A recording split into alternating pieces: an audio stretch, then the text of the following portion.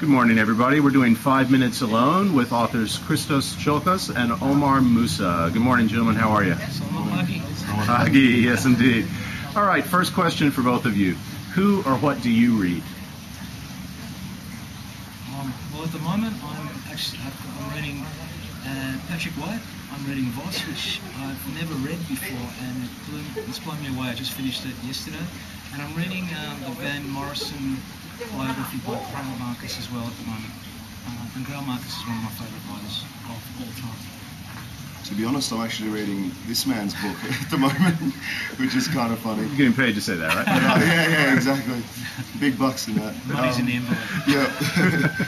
the uh, but you know, in terms of poets that I'm reading, I'm reading Pessoa at the moment, great Portuguese poet, and I'm reading some of Bertolt Brecht's poetry, which is really inspiring me at the moment as well. I also have to say I've just uh, started the Kei Tazanaki, the Japanese novel. He's, he's a master. Okay, next question. Um, what was the best advice you were ever given as a writer?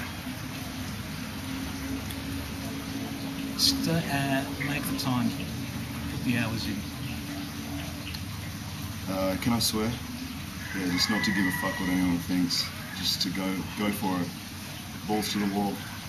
Of all the characters that you've created, all the subject themes that you've dealt with, to which are you most attached?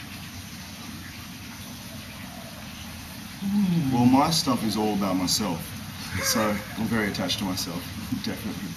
Um, yeah, I, I don't really create characters and, and things like that. You know, it's all that in hip hop. It's it's a bit weird because the persona and the person are collapsed into one. You know, so it's sort of all about me. I would have to say, in a strange, uh, no, I, I would say the, the character of Manolis, which is one of the characters in the slap. He's the um, old man, um, Greek migrant in, in Australia. Um, and I guess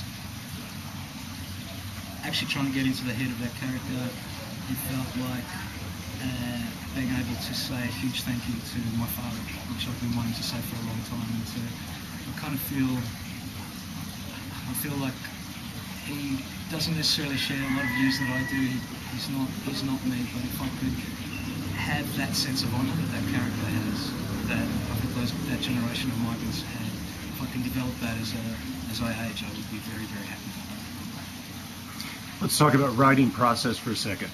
In terms of process, how do you do it? Are you a fly by the seat of your pants kind of guy, or are you a strict outliner? How does it work for you? Um, all of my stuff is very, very spontaneous, but it's taken years of training and practicing and writing every day um, to get to a point where I can go into the studio, listen to the music, um, get a feel for what the music's about, and then write everything there and then.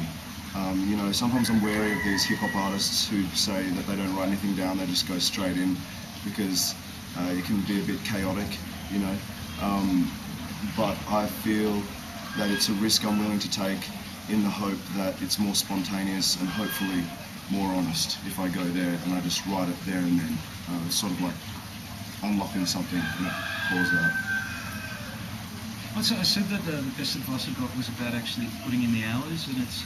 I, I've said for a long time that I think what we do is like an apprenticeship, but an apprenticeship that doesn't end. I mean, and the way you learn those skills, the way you learn to trade at what you're doing is actually by doing the work, uh, discovering the work.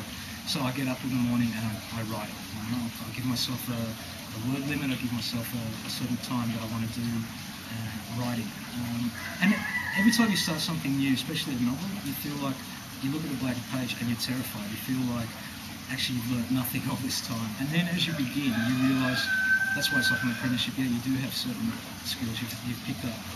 Um, you've picked up certain knowledges about what, what you're doing. So that's kind of my daily life as a writer.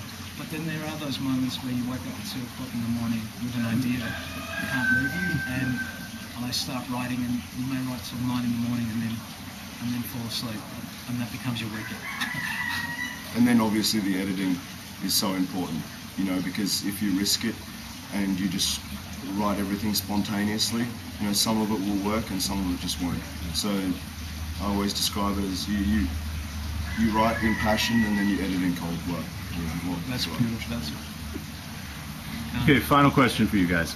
Uh, can you share with us one thing about yourselves that most people don't know? that if I'm in a, you know, if I'm having a really bad time, my guilty pleasure is the Sandra Sandra Bullock movie while you were sleeping. I can't believe I put that out on the freaking World Wide Web. There you go. Um, I usually have perfect taste. uh, I think one thing people don't know about me is that I, I love cats and I'm obsessed with cats. And I know a lot of different breeds of cats and things, and uh, there's nothing I like more than just sort of hanging out and talking to them. Brilliant, guys. cat Brilliant. too, I'll- I'll put it there. yeah.